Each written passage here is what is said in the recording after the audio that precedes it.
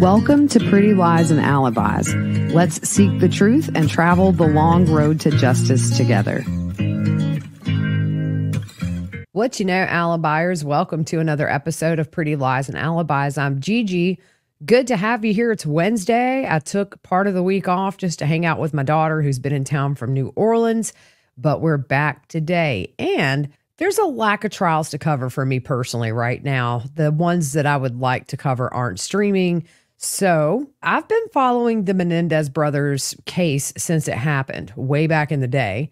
And I thought since resentencing is coming up next month, I thought maybe this would be a good time to go back and recap that very first trial that was televised. I'm going to do this the same way that I cover trials normally in an hour or less, just give you the best parts of testimony. I'm hoping to finish the whole trial before resentencing. It was lengthy, but I think we can definitely get there. Now, it may not be consecutive days that I do this. There could be something pop up that I need to cover in cases that we're following. And as you know, the second trial wasn't televised, but we do have this one. Before we jump in, if you're watching on YouTube, don't forget to hit subscribe, like the video, and you can click that bell icon if you want notifications of when I post new content.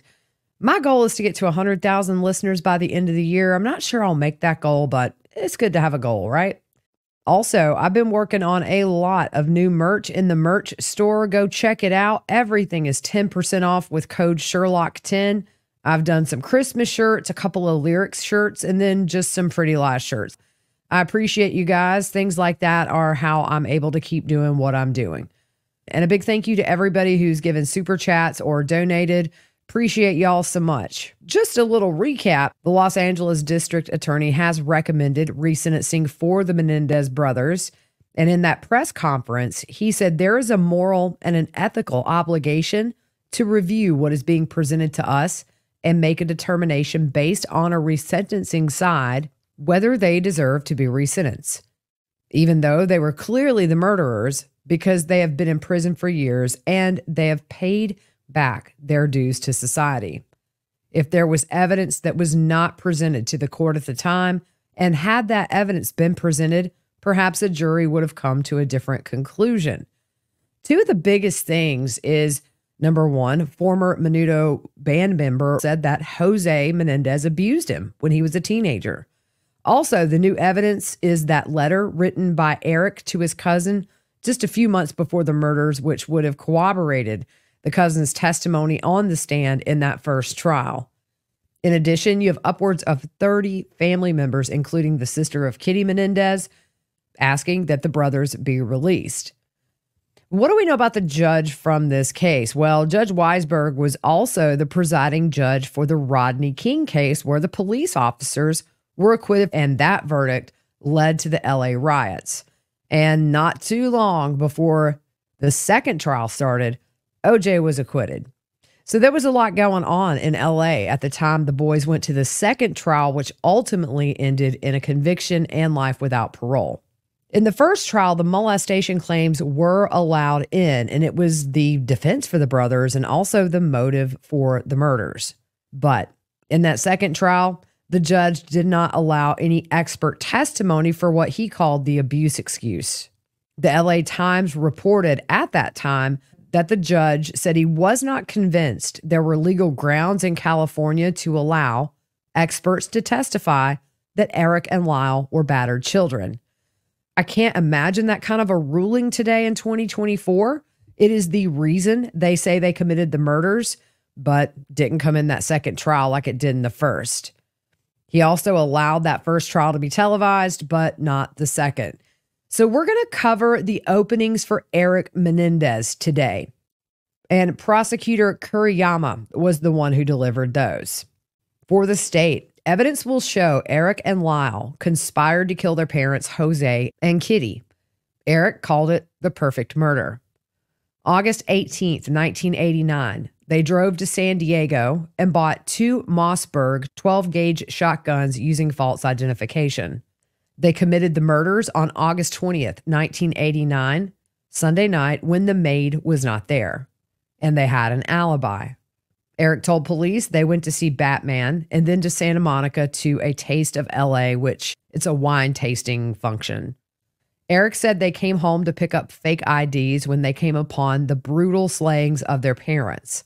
They called 911 and reported the killings. Jose had a gunshot wound to the back of his head and four others.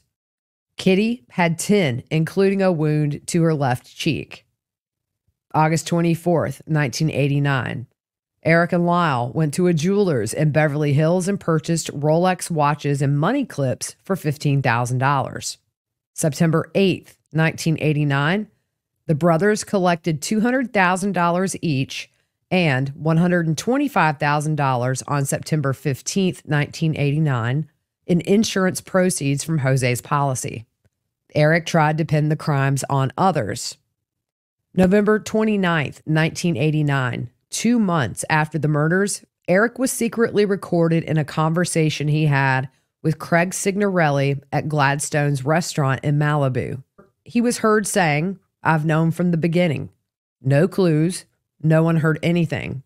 He then says he thinks Castro may have been involved in the murders and says, We are talking about special hitmen, special shotguns, and knew what they were doing in and out of the house.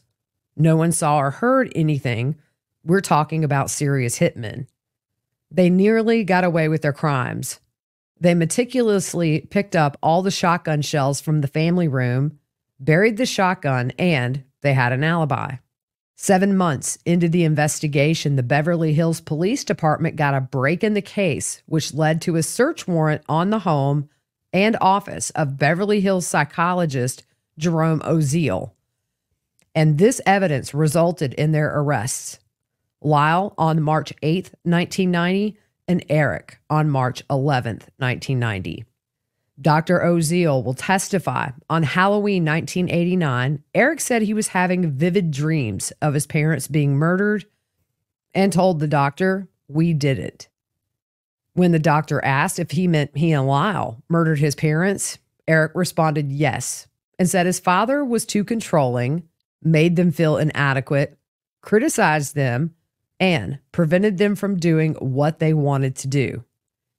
He said he and Lyle discussed killing their father and getting him out of their lives.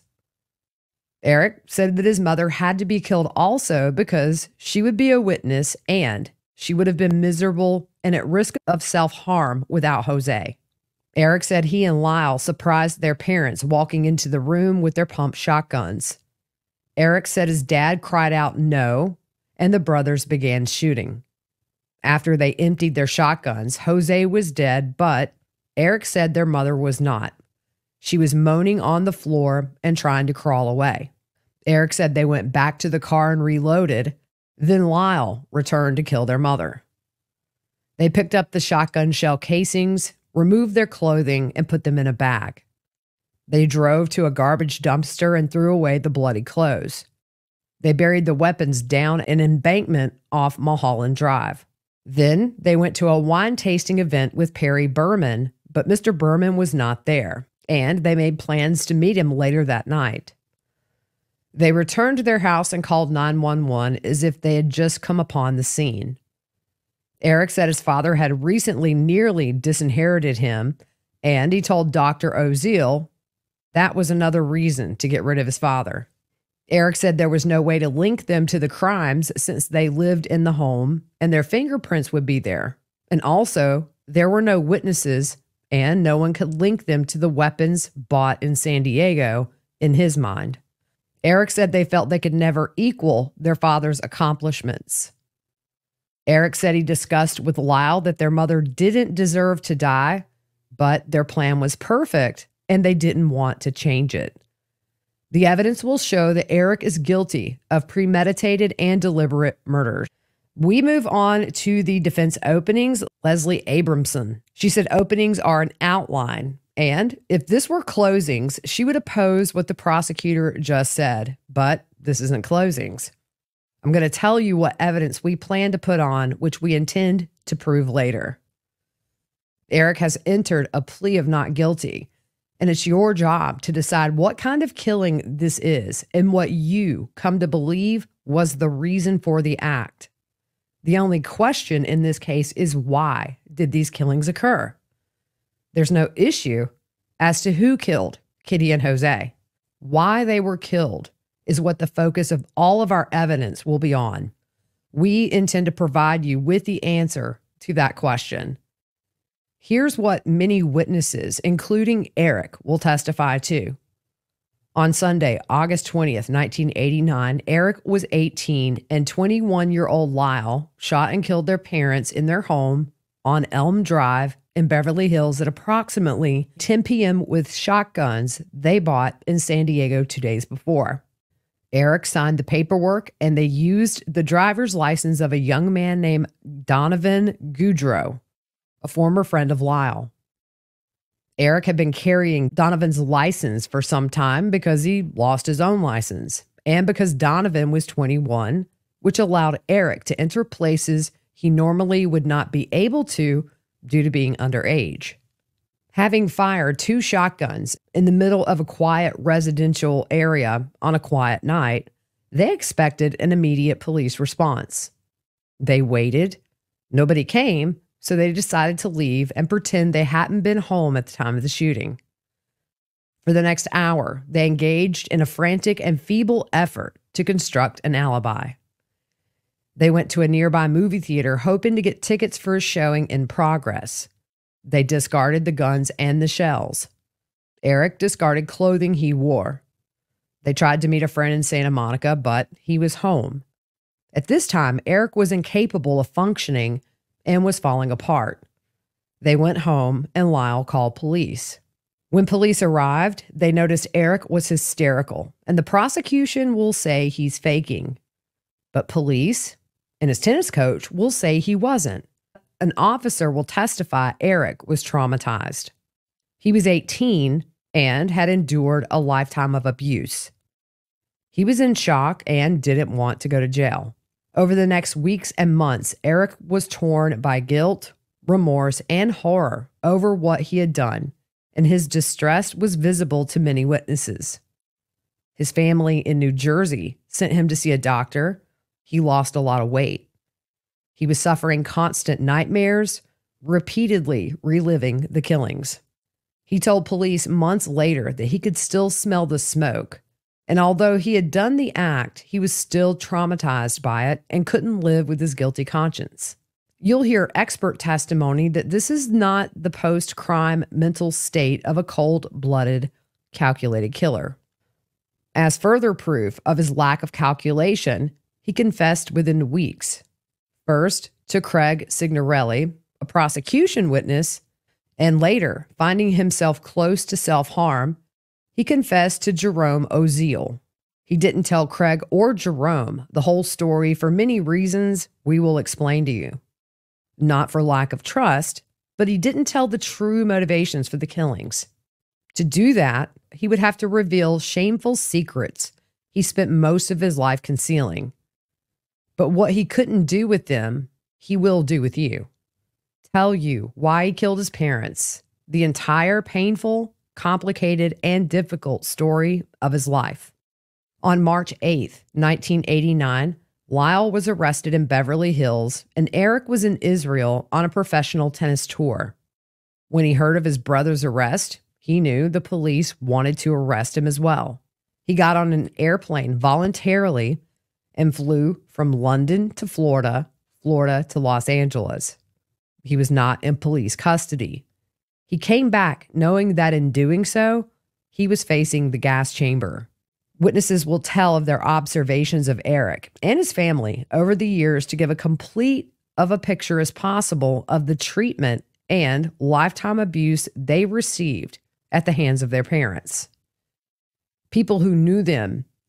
Also, the evaluations, the profiling of our expert witnesses in the field of battered children and battering parents their family members, teachers, coaches, friends of the parents, friends of the sons, business associates of Jose, therapists who treated Kitty, and Erik himself will paint a portrait of Jose and Kitty, which will help you understand how they could have died at the hands of their children. What did they do to their children to bring this about?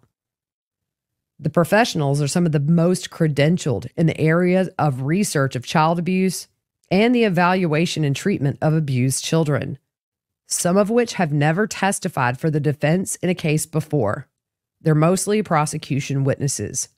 They'll tell you the effects of maltreatment on a child and how that continues into adolescence and early adulthood.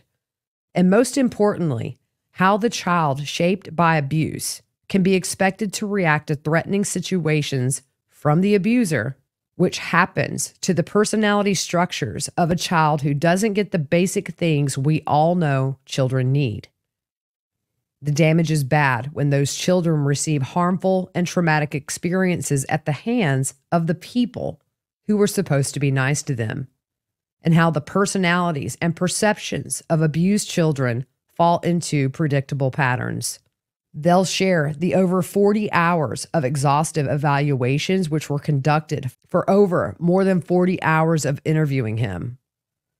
One expert has spent more than 200 hours with him, and their opinion is that he is a young man who has suffered from extreme forms of lifelong sexual, emotional, and physical abuse at the hands of both his parents. It's not only their opinions, but also supported by an extensive battery of objective psychological testing that was administered to Erik by an experienced forensic psychologist. The experts examined school and medical records, read thousands of pages of witness interviews. They examined the same crime scene evidence that will be presented to you by the state. So, what drove Erik, and how did these events lead to homicide? The simple answer is for 12 years, between the ages of 6 and 19, Erik was molested by his father, which started out as inappropriate touching and escalated in a carefully calculated pattern of grooming for his father's gratification.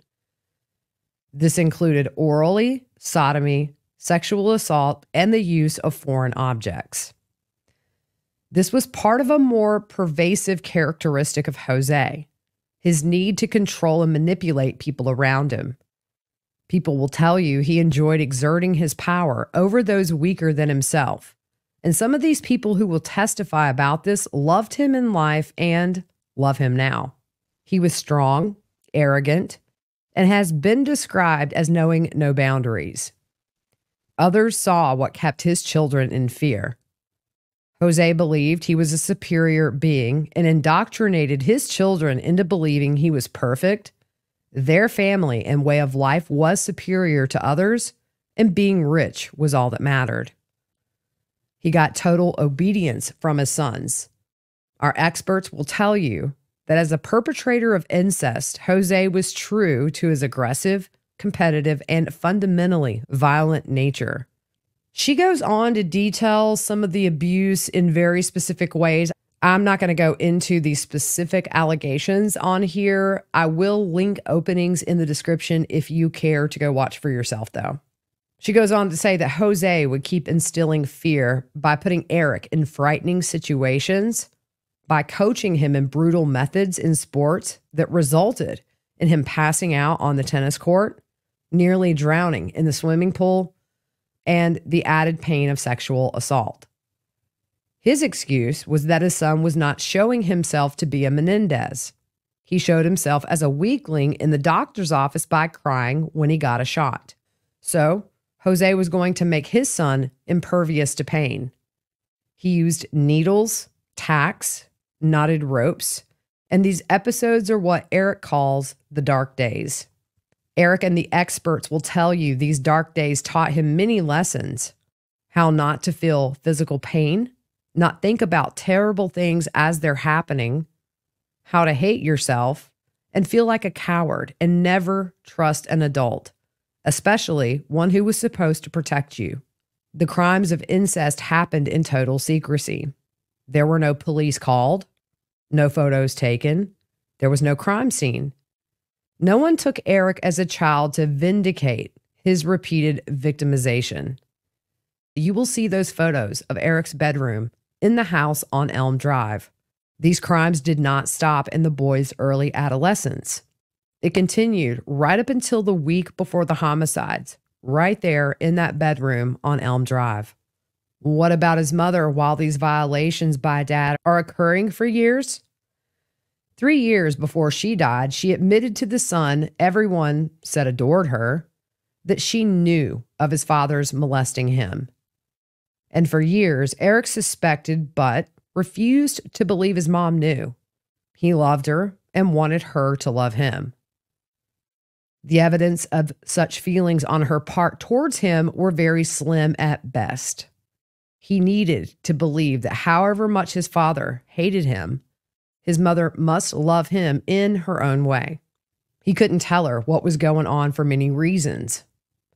In the early days of the seduction of his son, which our experts will tell you is a classic pattern among incestuous males, he told Erik this was their special secret.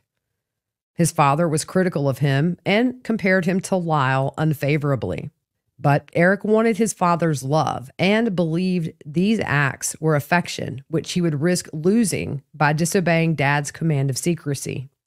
Later, when it got violent, Erik felt he was the one that had done something wrong. He blamed himself for what he saw as a loss of his dad's affection and had nothing to complain about. Witnesses will tell you Kitty seemed angry at Erik and Lyle all the time, uncontrollable rages over meaningless things. She never acknowledged he was sick, and he was punished for staying home from school by locking him in a closet as she ran errands. She criticized him nonstop for poor schoolwork, called him stupid and a dummy, and would lock him in the same closet if she thought he wasn't working hard enough on his homework. But she acted like she was afraid of Jose, and he treated her with disrespect both inside the home and in front of other people. Even though she was harsh with him, Erik believed his mom was a victim of Jose too, and he was protective of her. He didn't want to bother her with the molestation, even when he was throwing up after or was in pain or bleeding. He didn't want to break up their family, and he assumed she would believe him, not blame him, and do something about it. He had been told since an early age that his family was the center of the universe and was involved with his parents in every aspect of his life. But part of him was afraid she wouldn't care and wouldn't help if she did find out, so he didn't tell her. Did she know, though? You'll have to weigh the evidence. Erik said she admitted she did just before her death. 12 years of this in her own home as frequently as twice a month. You'll have to ask why did she never go in her son's room when Jose was alone with him? At this point in the openings, the defense attorney asks why did Kitty never enter the bathroom when Erik was throwing up after an episode with his dad? The state objected to this twice the judge told the defense attorney this was her comments and to get back to evidence rather than her comment on the evidence. She says to the judge, This is not my comments. But she rephrases. You'll hear evidence that she never attended to her son when he was throwing up in the bathroom next door to her room after an episode with his father. But if he was sick from an illness, she would come and then complain about the mess. You'll hear evidence she never asked why Erik was crying after dad left his room, but taught him to put water in his eyes to erase the signs of his tears. You'll hear that up to the age of 15, Kitty would check her son's genitals in what she called checking you out. And she was in counseling. Sick and embarrassing secrets? Her therapist believed those were sexually related. Witnesses will tell you Kitty was obsessed with status and her social position. She enforced a daily pressure cooker training program for her boys. Friends of the brothers described the Menendez home as boot camp. People describe her as cold and distant. Some say hostile towards her children, and you'll hear that she was an extremely secretive and private person. But Kitty was close to Jose's sister Terry, but she lied to her on a regular basis, telling her the boys were superior students. But Erik was barely average. Kitty hid from everyone. Erik had learning disabilities and had trouble understanding verbal instructions. The school pointed it out, but she never gave him treatment. The school he attended for grammar and junior high did sign him up for after school help for children with disabilities but Kitty made sure he never attended. Her children had to be seen as perfect for her to be seen as superior, like her husband. And she sacrificed her son's needs for that. And in spite of the fact Kitty talked to Terry every day, Terry never knew of any learning problems or any trouble in the family. But Terry knew Kitty was competitive. Her desire to raise winners and that you ignored your kids' fears to make them tough. She rarely, if ever, showed affection to Erik. When he was out of babyhood, Kitty made sure he trained and competed in all the competitive level athletics that her and Jose pushed the boys into swimming at three, soccer at six, tennis at 11. She was critical of bad performances, and the schedule they had for Erik left him no time to study. And with the learning disabilities, that made schoolwork hard, yet she still demanded he make good grades. It was the only measure of success, but it didn't seem to matter if he actually learned. A relative will testify that Jose's credo for success was to lie, cheat, and steal.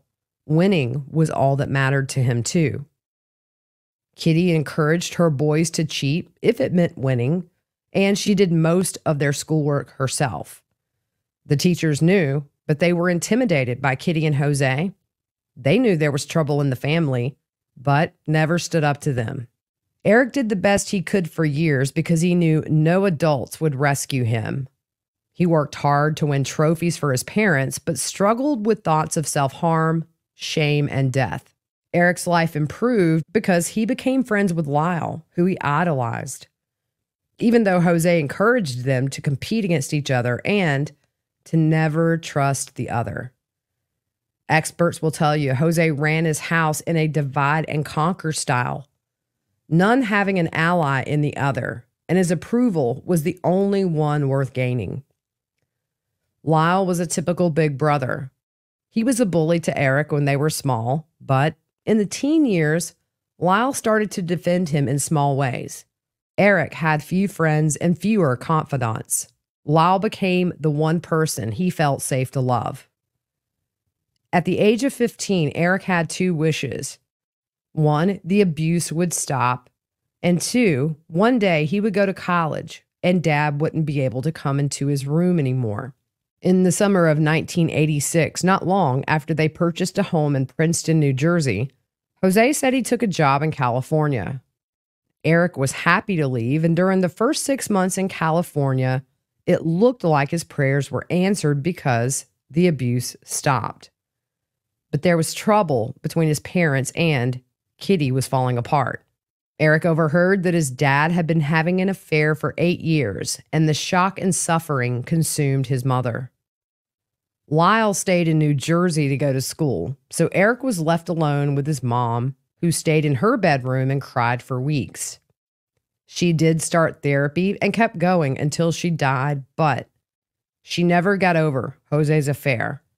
She never got better, and she never got close to dealing with the problems of her family. Kitty pressured 16 year old Erik to get a girlfriend and set him a six month deadline. He was scared if he got close to a girl, she would figure out what was happening with his dad. But he got a girlfriend, and you may see her here.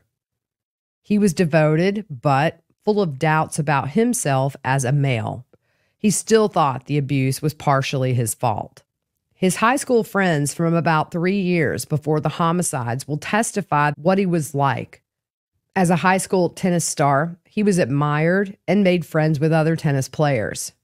He was fun, but also unusually anxious.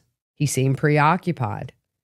His tutors say he would space out and they couldn't reel him back in. He was secretive, and they noticed he lied to his parents about insignificant things.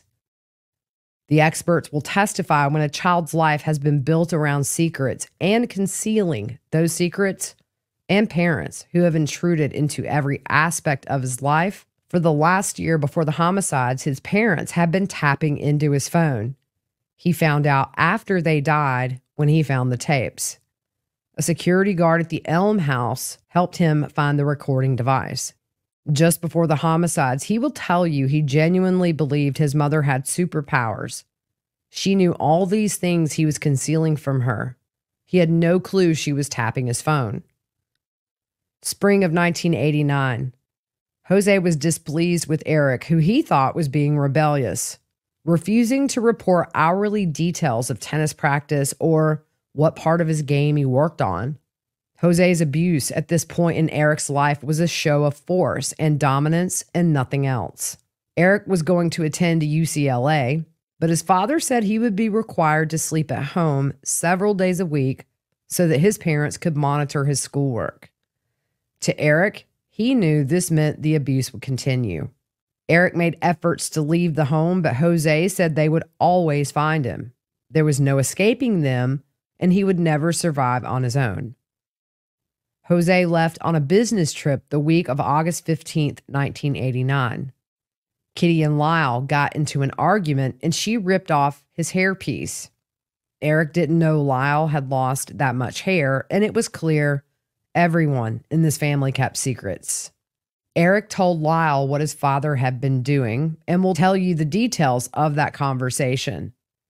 Lyle decided to come to the aid of his brother. He was going to demand Jose stop the abuse and allow them to leave the home and live together.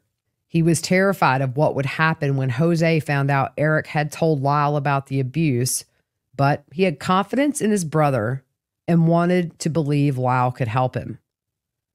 When Jose returned from his trip, he met with his older son, and it was a disaster. Jose was defiant. He is my son, and I will do what I want with him.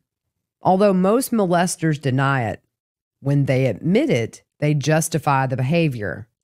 Our experts will say that Jose's personality and character structure fit his behavior pattern. Jose's reaction of Lyle's threat to go public if Jose didn't stop. There were violent and hysterical confrontations between first his dad and then with his mother. Jose again threatened to kill him and Kitty had acknowledged her complicity in the abuse all along. She blamed the boys for what she saw as her greater victimization. I hate you. I wish you had never been born. And it wasn't the first time she said this to her boys. The next day, a Friday, convinced their parents were going to kill them rather than allow them to go public with the facts of the molestation. Erik and Lyle purchased shotguns for their own protection. They wanted to buy handguns, which would be more useful for self defense, but being amateurs with firearms, they found out you could not buy handguns on demand. They didn't think they'd be alive in two days, let alone two weeks. Erik will tell you what the next two days were like increasing terror, lack of sleep, and the words and actions of both parents that convinced him that their plan to eliminate their sons was in place. And on Sunday night, it appeared to him the trap was sprung by words and deeds. He perceived his parents were about to kill him, and he replied in pure panic. He fired every round of his gun into them. One expert who works on analyzing crime scene evidence will describe this crime scene as the overkill one sees when frightened and powerless people kill those who they fear and see as all powerful the crime scene of abused children who killed out of fear. The defense is relying heavily on the testimony of Jerome Oziel. He wasn't there when the killings occurred, so he can know no more than what he was told. And he was not told the truth about why these killings took place. She goes on to say that Jerome Oziel can lie and they will challenge the truthfulness of his testimony. She says, We will present evidence to prove this man operates on his own agenda, has motive to lie about what he was told by the Menendez brothers, and he has a track record of lying, manipulating, and controlling people for his own selfish purposes. Erik was the abused son of wealthy parents. He had to kill them because he could no longer endure their abuse and had to stop it. His instinct to survive took over. The prosecution says they did it for the money. But what do you say when poor kids kill?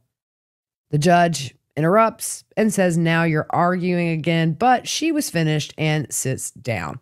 So, on the next episode, we'll go through the openings for Lyle and then we'll start getting into the best of witness testimony. It's not going to be verbatim, it's going to be really picking out the most important parts of the main testimony. When we get to the part where Erik and Lyle take the stand, we will definitely dive into that pretty deeply. But that's it for today. If you know anybody who might be interested in kind of reliving this first trial and seeing what transpired throughout the course of the trial for Erik and Lyle, send them the link, share it on social media.